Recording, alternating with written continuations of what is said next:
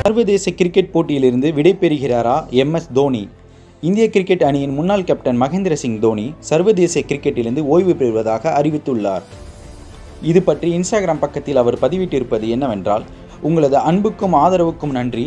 இன்று இரவு எட்டு மணி அளவிலிருந்து நான் ஓய்வு பெற்றதாக வைத்துக் கொள்ளலாம். முன்னதாக கடந்த ஆண்டு உலகக்கோப்பை அரையிறுதி ஆட்டத்தில்தான் தோனி கடைசியாக விளையாட கிரிக்கெட் போட்டி ஆகும் என்பது குறிப்பிடத்தக்கது.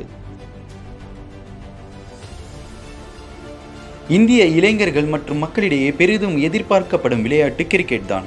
அதிலும் தமக்கு பிடித்த வீரர் என்றால் உணவு நண்பர்கள் தாய் தந்தையை விட்டு கூட தொலைக்காட்சி முன் அமர்ந்து கிரிக்கெட் போட்டிகளை எந்த நேரமும் பார்க்கக்கூடிய ரசிகர்கள் பலர் உள்ளனர்.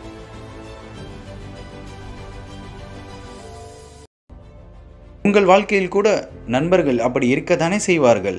இது ஒரு புறம் இருக்க ஒட்டுமொத்த இளைஞரையும் மக்களையும் அதிகமாக பெண்களையும் கல்லூரி மாணவிகளையும் தல தல என்று தன் வசம் ஈர்த்துள்ளார். இந்த மகி என்னும் மகேந்திர சிங் தோனி. தற்போது இவர் அறிவித்த அறிவிப்பால் போக்குவரத்து நெரிசல் போன்று கிடக்கும் சமூக வலைத்தளங்கள் டிராஃபிக் ஆகி கிடக்கிறது. அப்படி என்ன டிராஃபிக் அப்படி ஒரு வெறித்தனமான ஸ்டேட்டஸ் அப்டேட்டுகள் அனைத்து சமூக வலைத்தளமும் எம்எஸ் தோனி என்று நிரம்பி வழிகின்றன. அப்படி பல வருத்தங்களை தன் ரசிகர்கள் சமூக வலைத்தளங்களில் கொட்டி தீர்த்து கொண்டு வருகிறார்கள். இது இருந்த போதிலும் சென்னை மக்களுக்கும் தமிழ்நாட்டு மக்களுக்கும் எப்போதும் ஒரு தனி அன்பை செலுத்தும் மக்களாகவே இருக்கின்றனர். அதுவும் எம்எஸ் தோனியின் மீது பெரும் அன்பை செலுத்தக்கூடிய மக்களாக தமிழ்நாட்டு மக்கள் இருக்கின்றனர். அந்த அன்பை எப்போதும் நேசிக்கக்கூடியவராகத்தான் தோனியும் இருக்கிறார்.